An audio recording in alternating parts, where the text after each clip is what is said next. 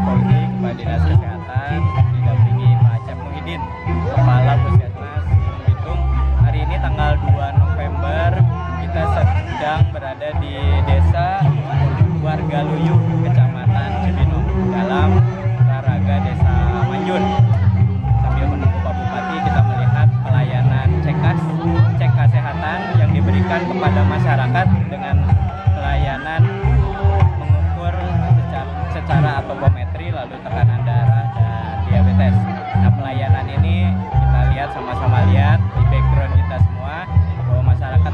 antusias dan tentunya juga petugas dengan senang hati melayani karena menganggap atau ber, berasumsi, berpendapat, berkeyakinan paradigma sehat harus tetap kita andalkan agar menjaga masyarakat tetap sehat dan memberikan pemahaman masyarakat untuk bisa senantiasa menjaga kesehatan dengan mengetahui status kesehatan.